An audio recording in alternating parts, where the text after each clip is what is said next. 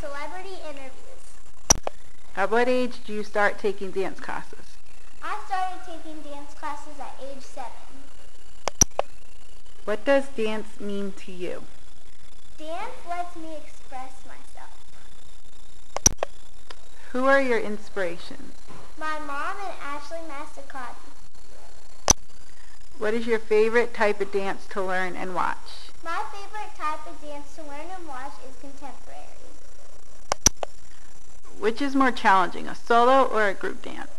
A solo is more challenging for me because the audience is focused on me the whole time. Do you remember your first dance competition in solo?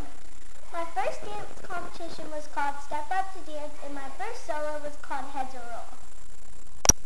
What has been your favorite solo and group dance you have done and why? My favorite solo has been Shelter. My favorite group dance has been Tracks because I like the choreography in both. What is your favorite outfit you have worn during solo and group dance? My favorite outfit I've worn during a solo was called Warrior and my favorite outfit I've worn during the group dance was called Fashion Divas. What is your favorite dance trick and can you show everyone? My favorite dance trick is an extension. This is an extension. Do you have advice for anyone wanting to start dance? I'd say to follow your dreams and never give up. What is your favorite TV show?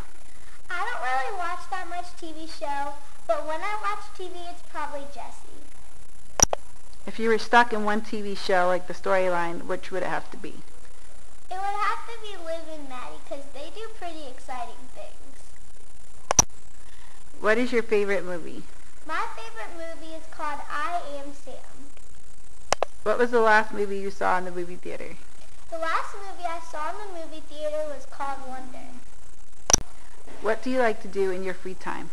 I like to dance and stretch. What is your favorite restaurant slash food place where you live? My favorite restaurant is called Chick-fil-A. Do you have any pets?